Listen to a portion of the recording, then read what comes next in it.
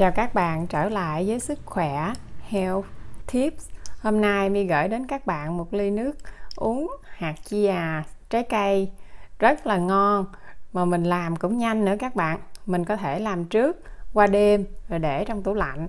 Rồi bạn bè đến thì bạn bè cũng có thể ăn được món này, mà thấy cũng rất là nhiều người thích cho một ngày mà trời nóng nữa ha. Mình cũng uống cái này được hoặc là những lúc mình cần vitamin C thì cái này cũng là có rất là nhiều vitamin C cho mình. Mi mời các bạn cùng xem ha.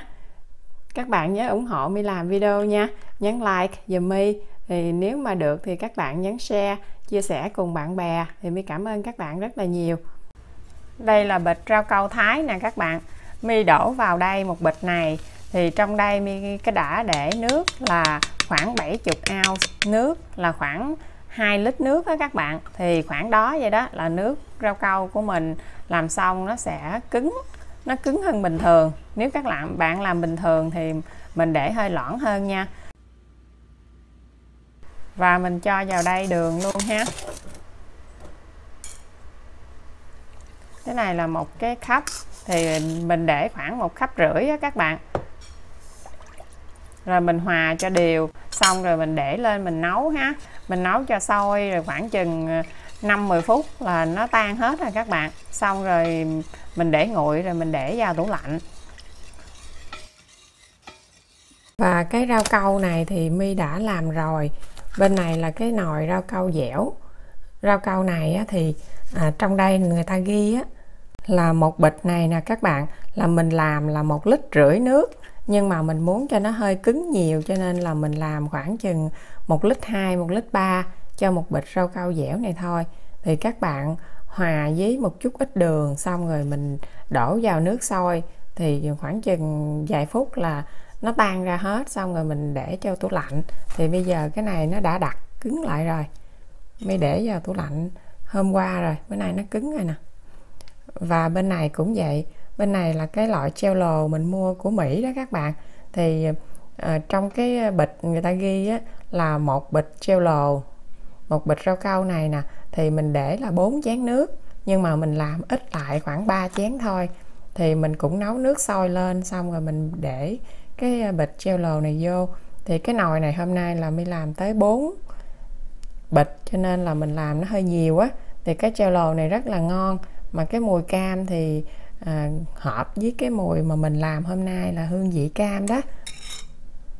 Trái dâu thì thường các bạn làm theo sở thích cho nên thì ví dụ như trái dâu thì các bạn để làm sao mà mình cảm thấy là nếu mình thích nhiều thì mình để nhiều còn không thích nhiều thì mình để ít thôi ha. Và thêm nữa là cam thì cam nhiều mới ngon nha các bạn. Mình lấy ra mình chắc mình lấy nước hết thì càng nhiều thì càng ngon mình không có cần thay nước lạnh luôn. Nhưng mà các bạn có thay với nước lạnh á, thì các bạn pha cái này vô thêm. Thì thường á, là mi pha cái này thì trong đây nó cũng đã có công thức ở trong đây nè các bạn. Thì cái nước này là nước ờ, kêu bằng nước than.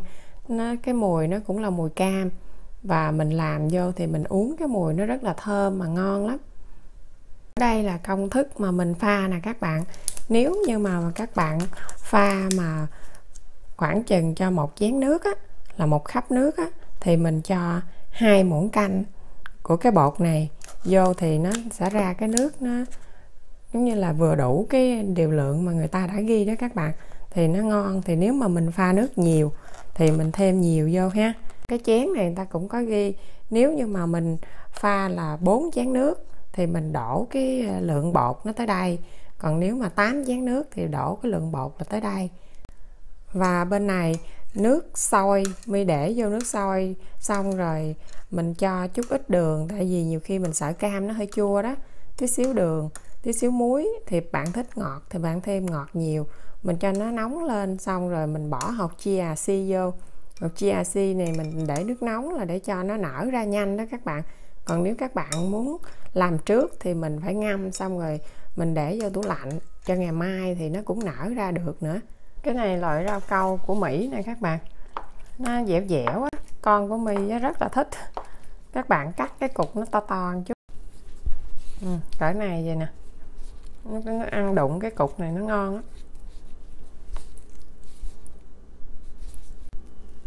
cái này loại rau câu Thái Lan nè. Giòn giòn cứng cứng.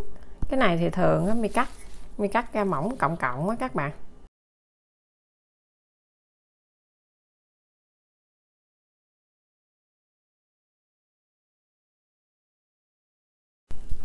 Nè mi lấy cái mài sợi này mi mài cho các bạn xem luôn. Thì cái này là loại mài mà cà rốt đó các bạn. Đó, mình mài như vậy. Nó ra được sợi như vậy nè, thì ăn cũng ngon lắm. Nó giòn giòn giòn giòn vậy đó, tại cái rau câu này nó nó cứng á, nó giòn, mình ăn à, thấy nó con mi cũng thích lắm.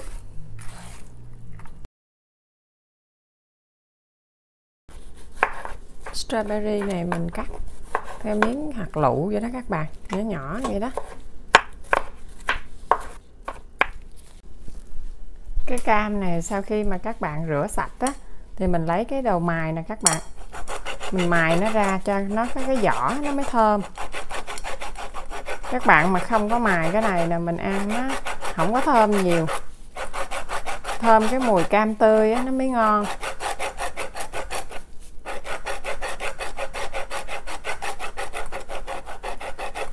Các bạn nhìn nè, mình lấy mấy cái này nè. Đó, nó không có đắng đâu, các bạn đừng có ngại. Nếu mình để nhiều lắm mới đắng. Các bạn mài cho nó ờ, đừng có bị tới cái vỏ trắng. Nè, mình mài outside thôi, đừng có bị tới cái vỏ trắng ở trong thì nó mới đắng. Thì thường á, thí dụ như khoảng một lít nước đi ha, thì các bạn mài khoảng chừng ờ, một, hai trái cam thì nó không có đắng đâu mà nó nó sẽ thơm cái mùi cam nhiều lắm. Đó, các bạn nhìn nè, đó, như vậy đó. Và sau đó thì cũng trái cam này luôn, thì mình cắt, mình lấy nước. Mình chắc ra đó các bạn, mình chắc ra mình lấy nước. Cam này nó chín quá, nó và cứ như vậy á, mình chắc nước nhiều thì cái nước của mình nó ngon ha. Và sau khi mà các bạn chắc nước xong á thì một số cam mình lựa cam nào nó hơi nhỏ nhỏ một chút để cho mình cắt mình bỏ vô trong cái cái ờ, cái đầu nước luôn. Mình bỏ cái này ha cái phần này là mình chắc nước đi.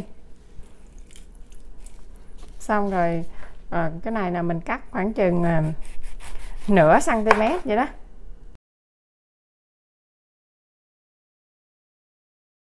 Bạn lấy hột ra nha, ví dụ như cái này có hột nè. Mình lấy ra để ờ, ăn bị đắng á. Hai loại này thì mình cắt ờ, ít thôi, khoảng chừng ờ, một lít nước chừng trái vậy thôi à. Còn chủ yếu là mình dắt cái nước này cho nó nhiều, để cho mình, để vô cái nước của mình mới ngon. Rồi, mọi thứ mi đã cắt xong rồi, bây giờ mi lấy cái hũ nhỏ này để mình trộn nha. Mình làm cái hũ kia thì to lắm, bây giờ mình làm cái hũ nhỏ này thôi. Cái này thì khoảng là hơn một chén nước. Xong rồi mình để nước sôi bây giờ nó nguội rồi. Mình đổ vô đây trước nha. Trong đây là có tí xíu đường với tí xíu muối luôn á các bạn. Thì cái đây nó có nước cho nên khoảng chừng một chén hơn là nước. Cho nên mình bỏ vô thêm chút ít này nữa để cho nó thơm ha. Nếu mà một chén nước á, thì là hai muỗng canh này. Thì bây giờ một chén rưỡi thì mới để khoảng 3 muỗng canh. Bột này vô. Bột then nè các bạn. Thì khoảng 3 muỗng canh ha. Rồi mình quậy nó đều lên.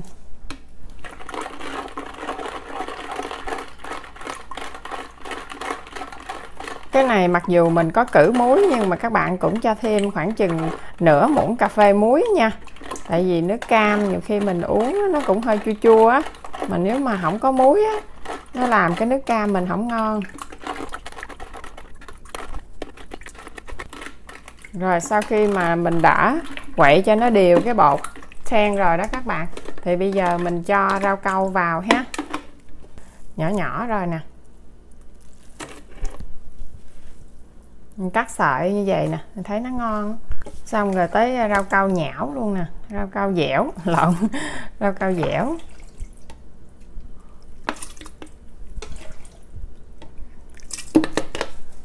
Rồi bên này là rau câu ờ, kêu bằng rau câu mỹ đi.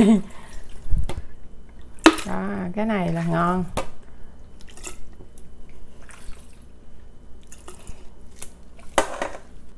Strawberry luôn. À, nhìn ngon quá nè. Cho nước cam vào nha.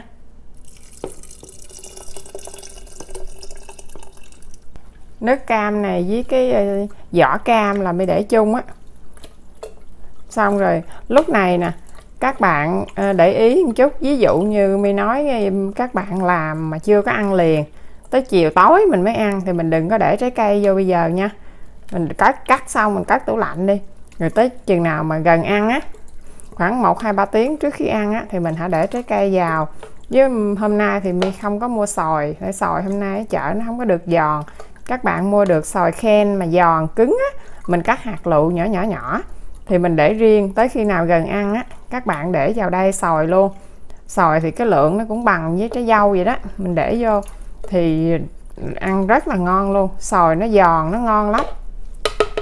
Rồi sau khi mà mình trộn đều xong á, thì bây giờ mình cho cái cam vô luôn.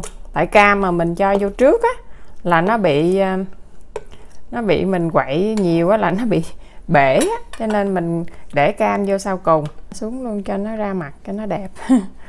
Muốn đặt như vậy nè thì lúc mà mình để đá vô á mình để đầy ở đây luôn.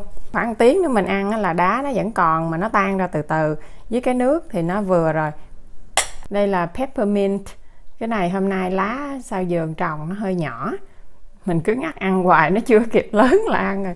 Thì bây giờ mình để cái này vô luôn các bạn. Thì nó rất là thơm mà mình để vô đây là cái mùi nó rất là đặc biệt.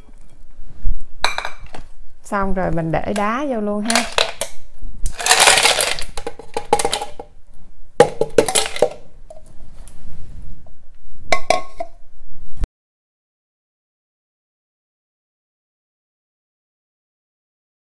Rồi, ly nước trái cây của mình xong rồi các bạn ơi. Rất là chất lượng luôn nè. Trời nóng ha, mà mình được một cái ly về uống là khó mà ai chê được các nhà. Thơm ngon thơm cam là nực nồng luôn. Mi cũng thích cái mùi cam lắm nhất là cái mùi vỏ cam. Cho nên mình làm cái này thì uống thì à, mỗi lần uống cũng thích nhiều. Cho nên bạn bè ai có đến nhà chơi hay gì cũng hay làm cái này mời. Thì có học chia sis á thì mình uống nó cũng tốt nữa các bạn. Thì mi chúc cho các bạn làm được ngon nha. Và một ly của mình nè tuyệt vời, không? Hẹn các bạn ở nhiều video về trồng cây của mi hay là nấu những món chay đơn giản, hay là video về mẹo giặt ha. Mi chào tạm biệt các bạn. Bye bye.